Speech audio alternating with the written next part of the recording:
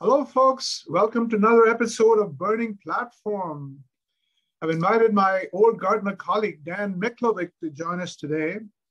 And this is going to be a very blue collar, industrial, gritty discussion because we have way too much conversations about digital stuff.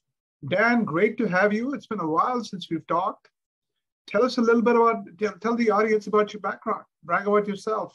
All right. Well, happy to, Vinnie. And it's good to be uh, talking to you again. Uh, I always enjoy conversations with my fellow uh, realistic skeptics. um, Speak for yourself. I uh, I've been in the manufacturing space for 50 years. I um, after I got out of college, I went to work in industry uh, with Weyerhaeuser. I've also worked on the vendor side uh, with a company that ultimately got acquired by Aspen Technology, where I was head of marketing. Uh, on the end user side, I've worked in sawmills, paper mills, plywood plants, uh, electrical motor manufacturing, chemical manufacturing. Uh, and I worked in the consulting side of the business as a uh, engineer for an architecture and engineering and construction firm, and then ultimately moved to uh, Gartner, where, uh, if you remember, you were actually part of the interview team that uh, I interviewed with when I joined Gartner, where I spent uh, 15 years. Was that nice? Then, I, I, don't I, don't remember that. Was that nice? Yeah, it was you, um, Eric Keller, and others uh, back when I came in, and uh, you you actually told me I was the first person in an interview that actually made Eric Keller shut up.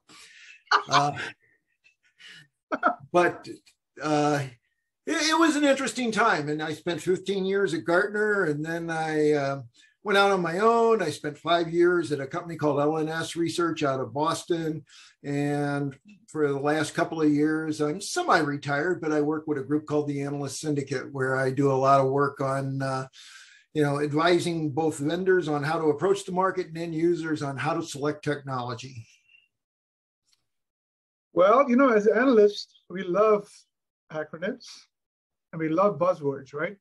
So in the industrial sector, we've got Industry 4.0, we've got IoT, I mean, a whole bunch of buzzwords. And then obviously acronyms you and I unleashed on the world, CIM and ERP and enterprise asset management and so on. When you look at all these alphabet um, soup, what is really truly promising you know, which is going to make manufacturing much more profitable, much more make it make it attractive again. Well, then you know, it's an interesting proposition there. You know, the acronyms, technology, how is manufacturing changing? Well, you know, before I talk about how the technology of the software and the IT is changing, let's talk about how manufacturing is changing.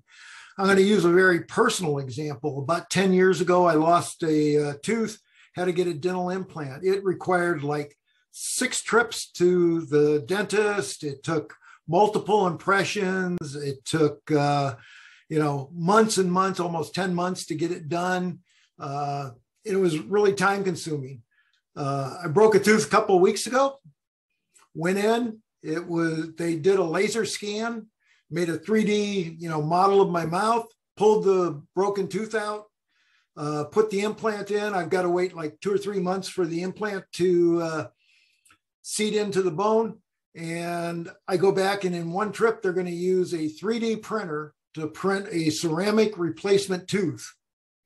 That uh, so what what was six trips before? It's going to become two or three. What was ten months is going to be three. You know, so I, think we're seeing that in other forms of manufacturing as well. Um, you know, we're, we're seeing this decentralization of manufacturing. We're seeing new manufacturing models with services and other things coming in. So it, it's an exciting time to be in manufacturing because it's changing.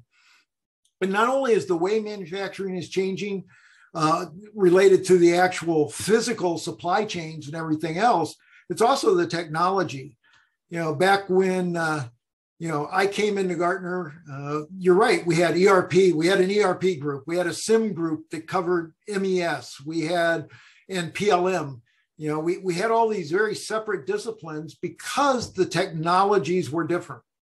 Um, PLM needed high volume data processing at high speed to do all of the engineering renderings and everything.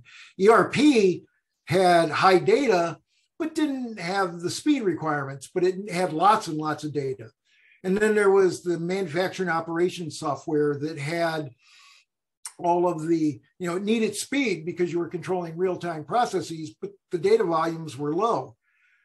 But as, as we've shifted to new technology, as we've moved into the metaverse and we, you know, business systems are now having to contain configuration files for the software and products and engineering systems are doing virtual reality and the analytics that are being applied on the shop floor needs huge data sets to work properly.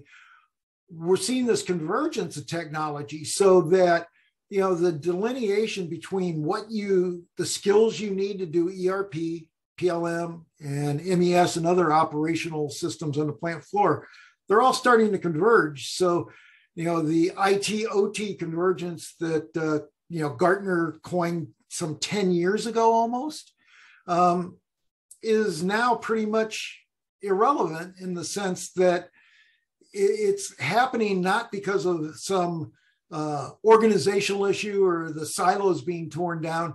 It's because the technology is truly converging. And, and it's an exciting time for manufacturing in that it's going to change, you know, it's enabling these shifts from, you know, large scale mega factories that make, you know, huge assembly lines of products and everything else to much smaller manufacturing that can produce a variety of things. So um, it's going to be a challenge though, because we've got to make this manufacturing technology simpler to use. I, I look at my own home. You know, I've got a smart thermostat, and while I am capable, uh, I'm a double E. I mean, that's my bachelor's degree as an electrical engineering. And so you know, if, if worse came to worse, I can sit there and uh, build my own thermostat, if you will. But for most people, the, the technology is such that we should be able to do in our factories what we do in our home, which is, you know, I go put my Ecobee thermostat up on the wall. Um, I get on my smartphone and I tell it what kind of temperature profile I want. You know, it should be as easy in manufacturing for you to go put a new oven, you know, an autoclave in to make a composite wing structure for an airplane. And you should be able to tell that autoclave, you know, cook it this long at this temperature, at this pressure, and then, you know, let it, it's, it's like my Ninja Foodi even. You know, I tell it how much time I want it to do at what pressure and how much of a cool down cycle I want and when to release the pressure. And then, you know, all I have to do is take the pressure lid off, put the browning lid down, and you know it takes a couple of steps and i can do what is a multi-step process because the technology allows me to do that. You know you're right. It is an exciting time. I helped a ceo narrate a book last year about how product companies are moving more into services right? So business models are moving to subscription more outcome based um, models and so on. And that's less to do with the shop floor. It's more to do with the contract systems and the you know change in field, a lot more focus on field maintenance, field service, and so on, and augmented reality in the field and so on. But it is definitely shifting in many different directions. But there are going to be some challenges. I mean, you know, we, we aren't turning out enough STEM graduates. We don't have enough data scientists to use the technology that we've got today. We don't have um, the domain experts you know it, there's a lot of attractiveness in becoming an influencer and making you know uh, couple hundred thousand dollars as a uh, influencer in a year as opposed to making a hundred thousand dollars as an engineer having to solve real problem you know it's a bit like your house. There are people who have um, implemented every piece of technology and you know their house is a technological wonder. But is it really any more comfortable than the person that has, you know, a modicum of technology? You know, the couple smart thermostats, uh, you know, a couple of lights that they can turn on and off easily and program. Um, right. You know, I guess you can compare it to a car too, right? Right. the point where you have so many new gadgets and so many new features that it's overwhelming, right? I mean, well, and it creates problems. I mean, you know, it's if you look at the recent news around John Deere and all of the uh, legislation that's being promoted about, you know, the right to repair, repair, they call it. Yep. And it's all because technology has gotten so complex that you if you if it's you know if the technology fails you can't do your work. And and that's the problem with smart factories is you know we're, we're building all these smart factories supposedly. Well what happens when the technology fails? And, and trust me I, I, appreciate that to a certain degree. We're in the middle of a blizzard here in the midwest today. And uh, you know i have internet and backup internet and my primary internet used to be starlink uh, and I had a low speed cable backup. I recently switched to a fiber as my primary with uh, Starlink as my backup. And guess what? Uh, the Starlink dishes froze up. The, the ice got too much for its internal heating system to, to recover. So I'm glad I got that backup. But if I only had the one, I'd be out of luck. I couldn't, you know, there's things I couldn't do with the smart systems in my house. Fortunately, I'm smart enough to know how to, you know, set up a local Wi-Fi and make it work. But you know, a lot of people aren't. And that's the problem with you know the whole technology and the manufacturing. There's there's this you know idea that we're going to bring technology back to our shores. We're going to you know the supply chain crunch, for example. You know, uh, Intel just announced they're going to build you know $20 billion worth of factory in Ohio.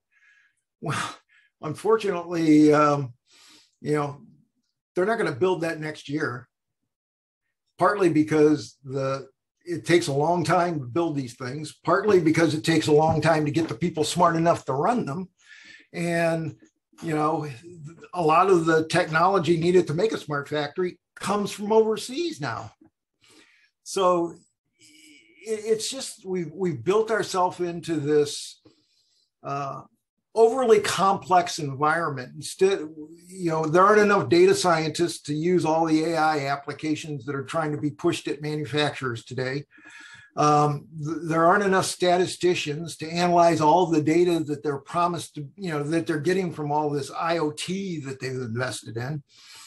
Um, you know, I don't need. But, but you know, how does a so let, let me let me give you the other point of view, right? We do have examples like a Google, like most of the hyperscalers, Amazon. They've shown that you can do a lot of stuff once you have data, right? So why why would that not, with the right talent, work for an, at least a decent sized manufacturer? Maybe not a smaller smaller firm couldn't afford all the talent and all the technology, but for a Deere or a Caterpillar or you know a GM and so on, why won't it work for them? Well, if you have enough money, it will. But unfortunately for us, the, the general public, the vast majority of manufacturing is dependent on the mid market because the big guys don't make things anymore. They assemble things. They bring components together and put them together. It's the problem is not GM's ability to assemble a car. It's GM's problem and Ford's problem and Deere's problem and the rest are getting the parts to put the car together. And it's those mid-tier manufacturers that can't afford the technology. So clearly, there's been a lot of talk about bringing manufacturing back, right, or nearshoring, right? Uh, at least I mean, North, North America rather than across a very long supply chain. What what what are you finding? What are the big issues? Is it the capex issues because it's going to take a lot of dollars, or is it a talent issue, or are there what what what are you finding? What, why is it much slower than it should be? Well, there's plenty of money. It's just that it prefers the easy money of NFTs, cryptocurrency. You know, ga- gamblers like to go for the uh, easy money, and manufacturing's never been easy. It's hard. It takes work. You know, it's not like um, gambling on Wall Street. It's not like gambling on NFTs. It's not like being an influencer. It takes real work to do manufacturing. Oh, so, that sounds personal here, Dan. It is. um, so so money's available. It's just that there aren't the right incentives. So I would say it's not a capex. It's the way we reward the use of money. So it's in some respects it's political in the sense of we don't have the right incentives. Uh, is it a talent shortage? Absolutely.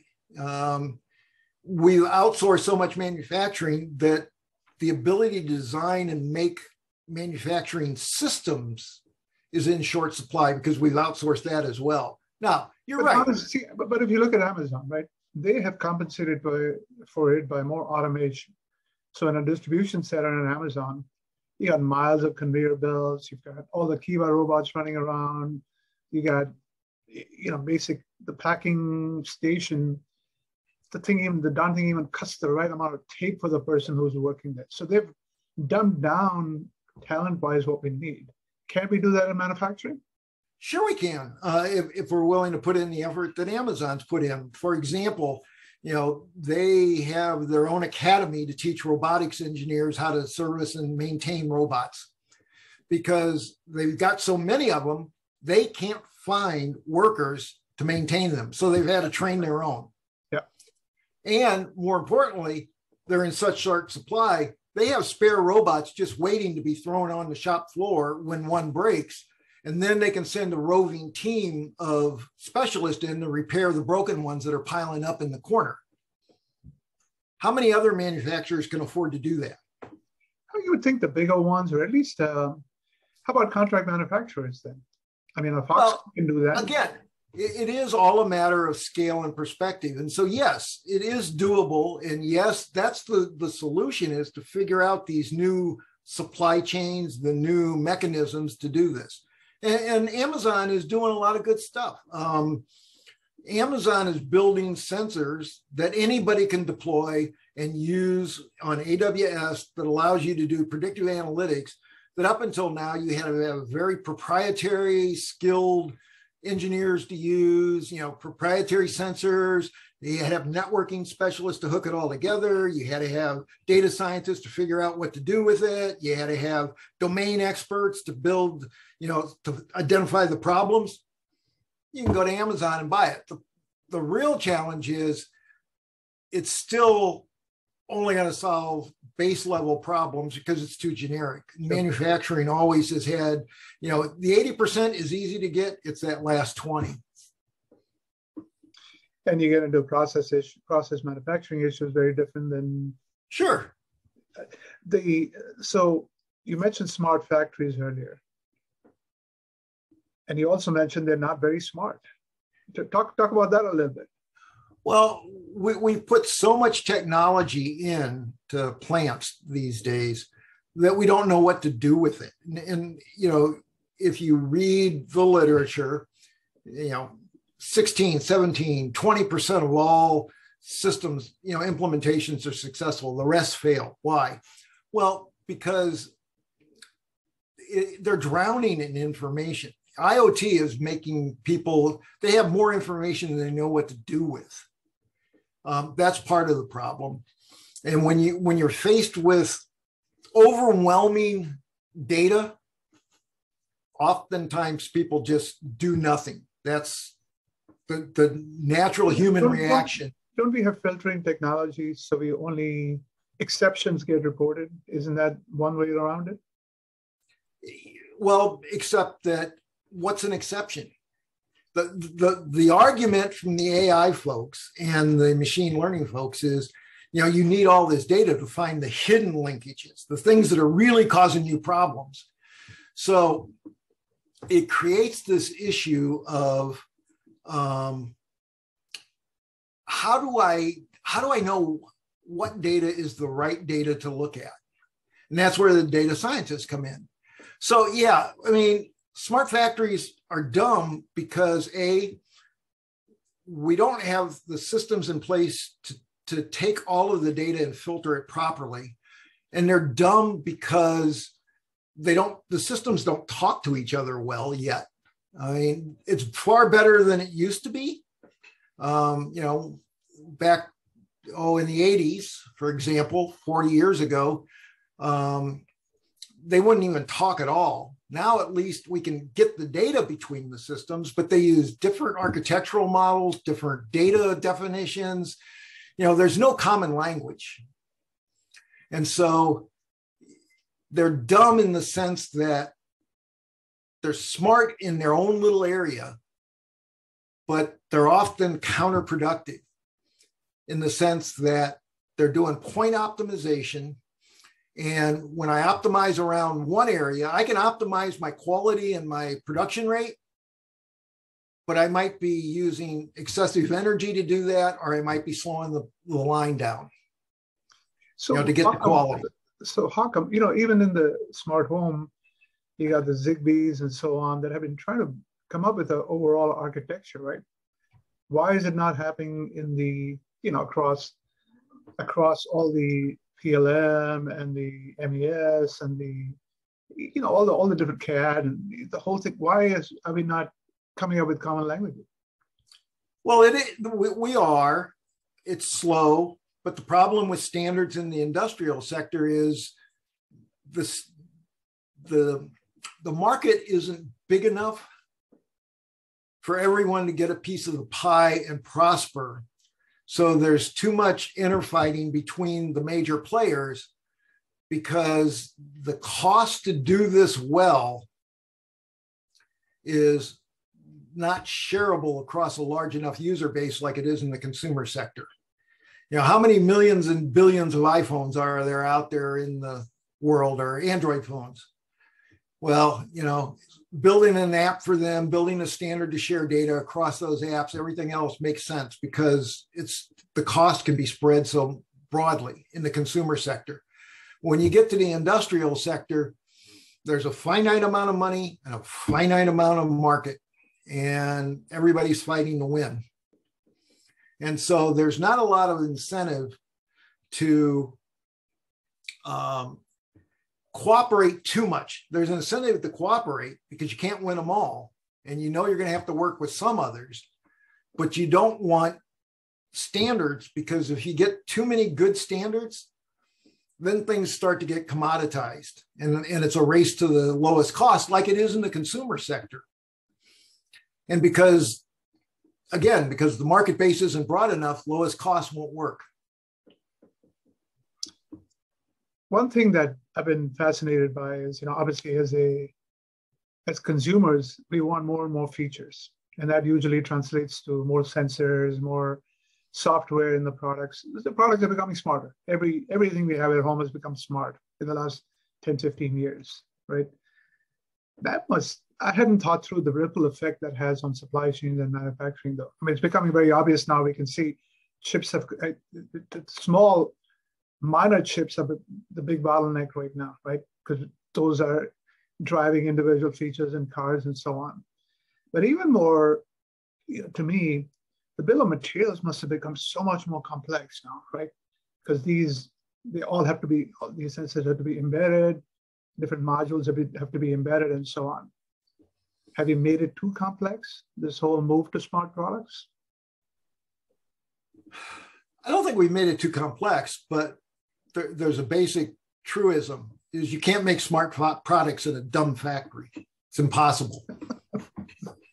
um, but you are right. I mean, when the variation in the functionality of a product can be defined by software, the manufacturing system that produces the device must be able to program the device itself not just the robots that make the device. And so code becomes part of the bill of materials, you know, the whole mechatronics issue. And the the challenge is again, you know, it's one thing to train a person to download software to a um, CNC machine it's another thing and and to validate that it's right because you can always run the piece and if it doesn't turn out right you adjust the software and make another piece and you throw the first one away. it's a little tougher if I'm downloading software to my product.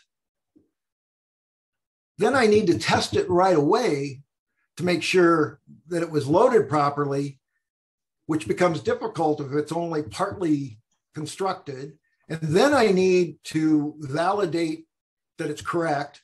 And so it's no longer just, you know, do it and observe the physical result. I'm, I'm doing diagnostics now. So the person assembling it has to be smarter. You, you can't have, or you have to have automation, which does that. And now the automation itself is more complex. It's a cascading problem. So how, uh, you know, let's step aside from the US for a minute. How are the Germans doing it? How are the Chinese doing it? How are the Japanese doing it? How are the Czechs doing it? I mean, there are some countries that have not, you know, we gutted out our core manufacturing capabilities over the last 30 years. But a number of countries didn't do that, right? Are they having more success with next generation industry 4.0 or is well, it to a certain degree yeah because they put more emphasis on stem education um, manufacturing in those companies is in those countries is uh, rewarded higher. It's uh, a better place to work. Um, there's less incentive to try to become an influencer than a engineer. Um, you know, so yeah, they, they are better off. It's it's again, it comes back to you know the strategic direction that this country has taken over the last 20 years or so, putting an emphasis on services and um, on, you know, finance, on uh, the the whole creative process as opposed to the manufacturing process. You know, putting emphasis on uh, being an influencer over an engineer is something that we've got to change. We've got to make manufacturing a re- rewarding and uh, both rewarding financially and rewarding intellectually career.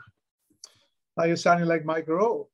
Let's let's get back into trade schools and get away from Ivy League uh, liberal arts type stuff. Well, I'm not saying get away from higher education because you know it's a cascading thing. You need a pyramid of skills. Yes, trade schools are important, but so are the PhD students. I mean, you know, the, the challenge we've had in the last several years is many of the STEM doctoral students have been incented to actually leave the US and go back to their home countries where they came from and establish businesses there. And that's been part of our downfall. What else? What excites you about the manufacturing sector or the industrial sector broadly? Well, it isn't going to go away. We need stuff. Um, you know, without manufacturing, A, we wouldn't have the technology we're talking on today. You wouldn't have the clothes you're wearing. Um, you know, manufacturing is fundamental to everything we do. And if you don't do it, life isn't going to continue as we know it. So, hence, it's not going to go away. So, it's exciting to know that these are all problems that we're going to solve. I don't know if we're going to solve them tomorrow, but you know, I'm, we're already seeing a change in um, some of the funding that's being proposed and some of the um, directions that we've seen in the last four or five years on STEM. So, uh, you know, the good news is it is going to uh, it's going to continue. It's going to get better. It's just that we need to make sure that we're putting the money in the right place and doing the right things. And um, you know, it's it's difficult, but hey, it's the difficult things, solving difficult problems, which are fun. Certainly, Elon Musk would agree. I mean, yeah. Even even though his Starlink is causing you problems, uh, yeah. Well, that's because I don't have any cats to lay on it and keep the snow off. Dan, a real pleasure to reconnect. Thank you again yep. for your time. Stay optimistic. Like always, we we we we we, we need to give much more love and attention to the manufacturing sectors.